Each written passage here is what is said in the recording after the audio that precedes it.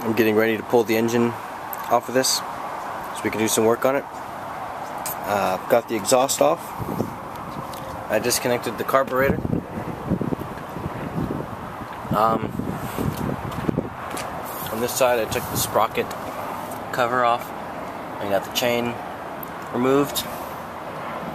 And um, got most of these wires. Those two, the black and the white one, are stuck. So I got to figure out how I'm gonna get those. I might just cut them and then redo the connections later.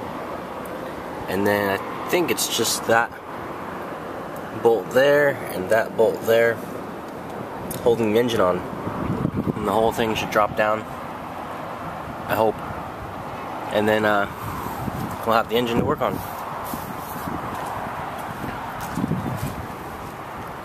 I don't think anything else is connected to it. We'll see. So there it is. It's the engine slash transmission out.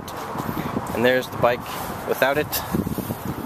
I was right. It was that bolt. Actually, it's dark. You can't really see. That one and that one was the only uh, only two holding it on. Those wires, the carburetor, and the spark plug wire. That was all that was holding it on.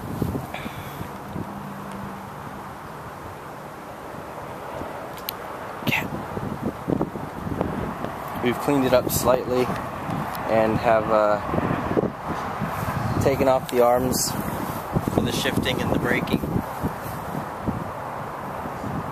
But we're hungry, so we're gonna go get food.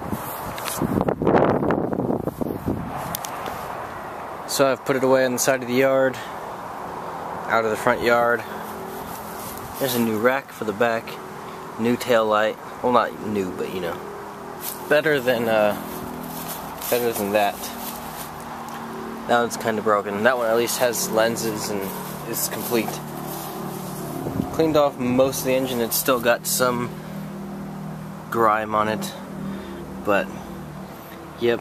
I'm not taking it apart today because I have to go to work in a couple minutes but that's as far as we've gotten. Still needs a bulb for the front.